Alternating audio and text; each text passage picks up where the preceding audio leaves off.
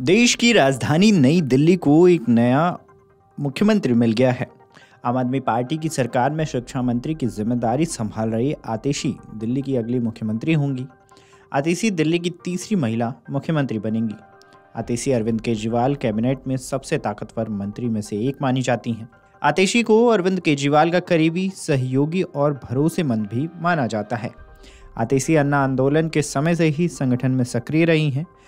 विदेश से पढ़ी लिखी दिल्ली की नई सीएम आतिशी की नेटवर्थ की अगर बात करें तो ये एक करोड़ रुपए से ज़्यादा है। यानी कि करोड़पति हैं दिल्ली की नई सीएम। तो आइए जानते हैं कि उनके पास क्या क्या है। वर्ष 2012 में भ्रष्टाचार विरोधी आंदोलन के समय राजनीति में कदम रखने वाली आतिशी आम आदमी पार्टी के संस्थापक सदस्यों में से एक हैं। साल 2019 के लोकसभा चुनाव में भी पूर्व दिल्ली सीट से लोकसभा उम्मीदवार इन्हें बनाया गया था, लेकिन वह भाजपा के गौतम गंभीर से चुनाव हार गई थी। इसके बाद साल 2020 में पार्टी ने फिर से आतिशी पर विश्वास जताया। तभी से वह दिल्ली के कालका जी विधानसभा सीट से आम आदमी पार्टी की विधायक है। नेशनल इलेक्शन वॉच साइट पर उपलब्ध जानकारी के अनुसार, आतिशी मारलेना के पास कैश के तौर पर सिर्फ़ बीस हज़ार रुपये है, जबकि बैंक और अन्य फाइनेंशियल फॉर्म में एक दशमलव चार एक करोड़ से ज़्यादा का डिपॉजिट है। हालाँकि इनमें से उनके पति की इनकम भी शामिल है।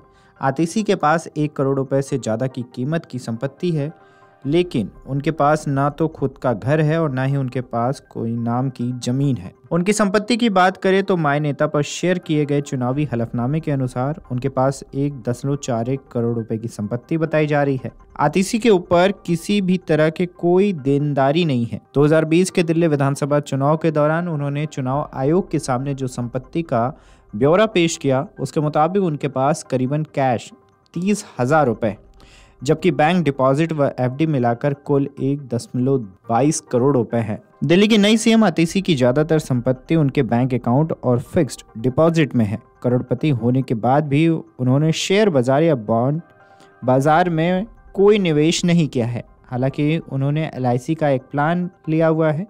उनके नाम पर पाँच लाख रुपए की एलआईसी की हेल्थ इंश्योरेंस पॉलिसी है। बता दें कि आतिशी का जन्म दिल्ली विश्वविद्यालय के प्रोफेसर दंपति विजय सिंह और तृप्ता सिंह के यहाँ 8 जून उन्नीस सौ इक्यासी को हुआ था। कुछ लोगों का कहना है कि उनके पिता ने उन्हें आतिशी मारलेना नाम दिया। उन्होंने मार्क्स और लेनिन के लिए किए गए कुछ अक्षरों को मिलाकर उनके लिए नाम चुना था। साल 2019 के लोकसभा चुनाव में प्रचार के दौरान आतिशी ने अपने नाम से मारलेना शब्द हटा दिया, क्योंकि उनके ईसाई होने का भ्रम होता था। बहरहाल, पंजाबी राजपूत परिवार में जन्मी आतिशी अब सोशल मीडिया पर अपना नाम आतिशी आप लिखती हैं। आतिशी कालकाजी से आप विधायक हैं। राजनीतिक मामलों की समिति की सदस्य होने के साथ ही कई अहम जिम्मेदारियाँ निभा चुकी हैं। उन्होंने जुलाई 2015 से अप्रैल 2018 तक दिल्ली के उप मुख्यमंत्री और शिक्षा मंत्री रहे।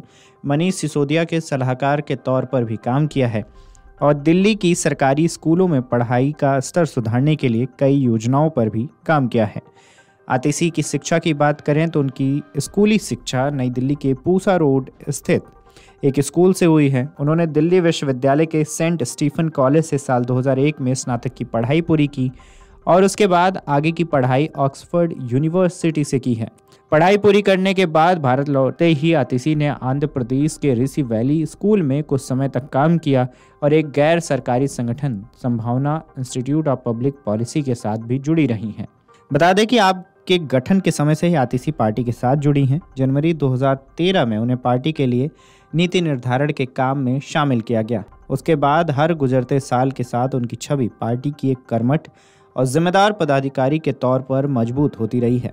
साल 2015 में उन्होंने आप नेता आलोक अग्रवाल की ओर से मध्य प्रदेश के खंडवा में चलाए गए जल सत्याग्रह में बढ़ चढ़ कर भाग लिया। आतिशी को 2019 के लोकसभा चुनाव में पूर्वी दिल्ली से पार्टी का उम्मीदवार बनाया गया। वो बीजेपी के प्रत्याशी गौतम गंभीर से हार गई। साल 2020 के दिल्ली विधानसभा चुनाव में उन्होंने पार्टी के टिकट पर कालकाजी क्षेत्र से चुनाव जीता और बीजेपी प्रत्याशी को ग्यारह हज़ार मतों से मात दे दी।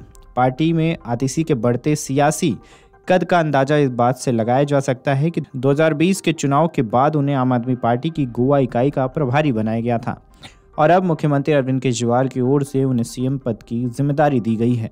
Video desk Amar Ujala dot com अगर आप ये वीडियो YouTube पर देख रहे हैं तो हमारे चैनल को सब्सक्राइब करें और बेल आइकन को दबाना ना भूलें। अगर आप Facebook पर ये वीडियो देख रहे हैं तो हमारे पेज को लाइक करें।